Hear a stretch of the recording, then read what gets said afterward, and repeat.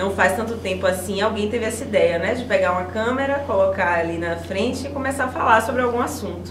E eu acho que, inclusive, foi o que eu falei muito hoje aqui, que o que difere o youtuber das outras mídias, por exemplo, cinema, TV, teatro, entre mil outras coisas, claro, é isso. Você tem mais horizontalidade, mais liberdade para escolher sobre o que e como e para quem você vai falar. Então, hoje é, existe muito essa mentalidade de que, ah, youtuber nem é gente, youtuber.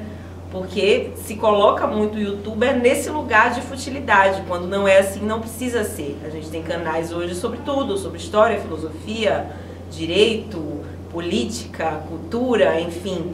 E a gente pode e deve fazer esse trabalho de uma maneira que gere credibilidade, que gere informação e que gere entretenimento também, que nunca fez mal a ninguém. Né? Com humor, com leveza. É, eu já me perguntaram isso, eu não sei se é a profissão do futuro, mas eu acho que tem sido a do presente.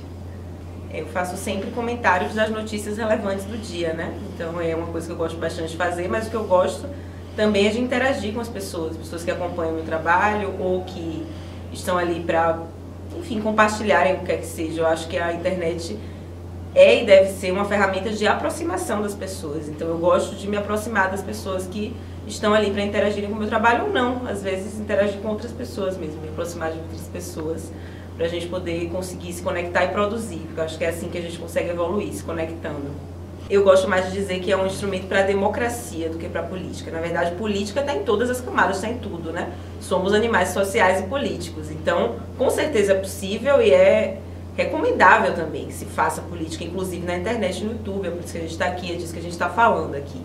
Mas eu acho que é uma ferramenta de democratização do discurso mesmo. Então, quando você diz o, YouTube é uma ferramenta de política, pode me soar o seguinte: o YouTube é uma ferramenta para lançar candidatos não, eu acho que não é o não é o que eu vislumbro, pelo menos. Eu acho que é um, uma ferramenta, é um, uma plataforma onde o povo está falando, as pessoas estão se comunicando e, e, é essa horizontalidade que a gente quer, né? Não vai ser só uma ferramenta de, de lançar candidatos. Eu acho que não vai funcionar dessa forma, embora, claro, os candidatos lancem mão disso e façam disso uma ferramenta também para se promoverem.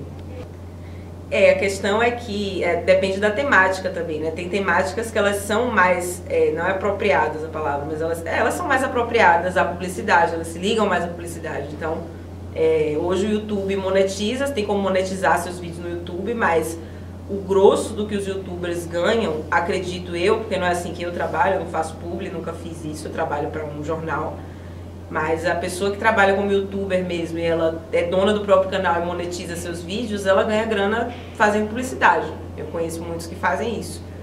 E aí é uma questão de realmente estruturar o seu canal para ter essa abertura de publicidade, né? Dá para ganhar dinheiro com o YouTube. Eu, eu quero que chegue esse dia para mim, mas eu conheço muitos youtubers que estão muito bem de vida hoje. PC Siqueira é um deles, dinossauro T-Rex aí da internet, começou há mais de 10 anos atrás.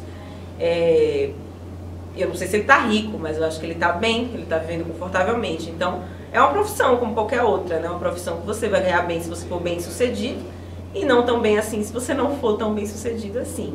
Mas eu acho que falta a gente enxergar mesmo como uma profissão, como qualquer outra, porque é o que ela é.